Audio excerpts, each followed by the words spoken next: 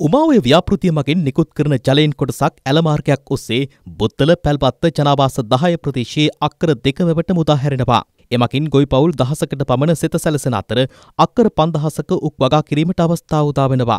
වසරකට එමකින් සීනි metric ton හයදහසක් හා එතනොල් ලිටර් අට ලක්ෂ හැත්තෑ හත්දහස් පන්සියක් නිෂ්පාදනය කිරීම රජය අරමුණයි. ව්‍යාපෘතිය ආරම්භ කෙරුණේ රාජ්‍ය අමාත්‍ය දිලුම් අමනුකම ශශීන්ද්‍ර රාජපක්ෂ හා ජගත් පුෂ්පකුමාර යන මහත්තුරුන්ගේ ප්‍රධානත්වෙන්.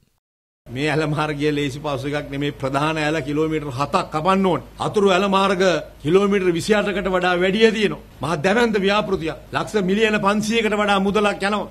අපිට මේ මුදල වියදම් වෙන මුදල අපි ආපස්සට ගෙවනවා. පැල්වත්ත සීනි සමාගම දිහා මුළු රටක් නෙමෙයි මුළු ලෝකයක්ම බලාගෙන ඉන්නවා ඔබ කරන නිෂ්පාදනය දිහා. ඒ නිෂ්පාදනය දෙගුණ තෙගුණ කරන්න පුළුවන් ඕනම තීන්දුවක් තීරණයක් ගන්න අපි ලෑස්ති කියන එක ඉතාමත් පැහැදිලිව ඔබ තමුන්නාසලට කිව යුතුයි මේ අවස්ථාවේ.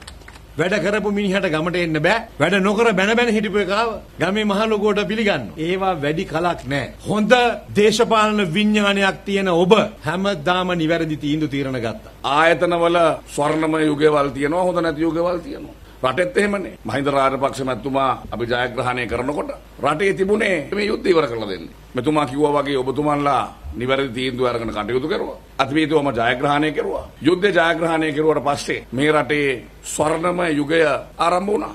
දැන් රාජපක්ෂලා හොඳ නැහැ. රාජපක්ෂලා නැතුව ආණ්ඩුව හදන්නේ කියනවා. ජනාධිපති අපේක්ෂකයන්ට රාජපක්ෂලාට උදව් කරන්න එපයි කියනවා. අපි තාම පැහැදිලිව කියනවා. මහින්ද රාජපක්ෂ මැතිතුමාගේ සහාය නැතුව මේ රටේ ජනාධිපතිවරයෙක් පත් කරන්න බෑ. ඒක තමයි මහා පොළොවේ තියෙන සත්‍ය. ඒක කාටවත් කරන්න පුළුවන් දෙයක් නෙමෙයි.